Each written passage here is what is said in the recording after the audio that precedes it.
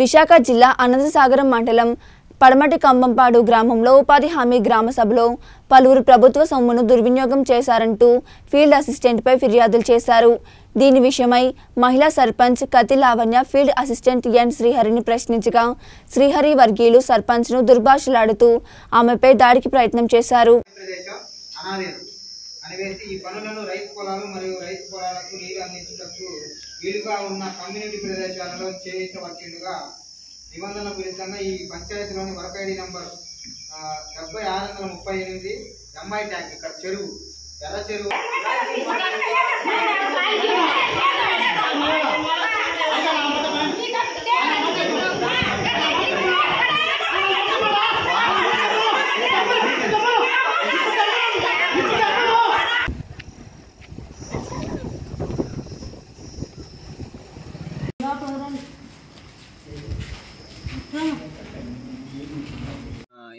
మా గ్రామంలో మా సర్పంచ్ గారు గ్రామ సభ ఏర్పాటు జరిగింది.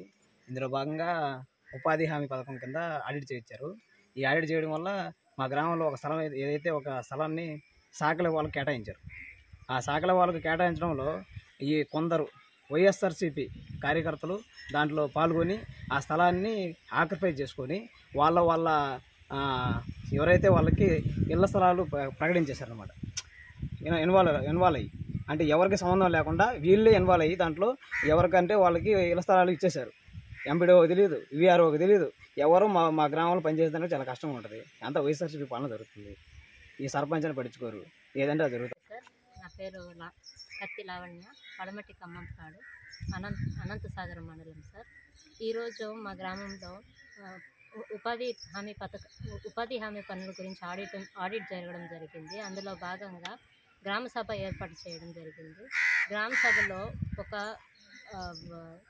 చోటు గురించి ఇప్పుడు అప్పుడేమైందంటే రెండు వందల యాభై రావాల్సిన వ్యక్తికి ఒక ఇద్దరు పేర్లు యాడ్ చేస్తే నూట యాభై వస్తాయి. గవర్నమెంట్ ఏమో డబ్బులు ఇవ్వదు మీరు చేసిన పనికే డబ్బులు ఇస్తుంది అందువల్ల ఎక్కడెక్కడ మస్టర్లు మేట్లందరూ కూడా అటెండెన్స్ చేసుకోవాలని తెలుపుతున్నాం అంతే.